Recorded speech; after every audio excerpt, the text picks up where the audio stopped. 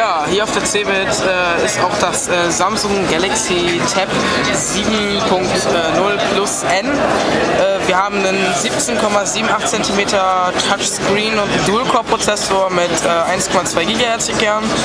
Es ist momentan noch Android 2.3 drauf. Wenn, ob, ob 4.0 auch kommt, weiß ich jetzt nicht, aber ich rechne mal stark damit. Äh, Flash-Unterstützung, HSDPA Plus und WLAN Endstandard und ja, viele Apps mit dem Android Market.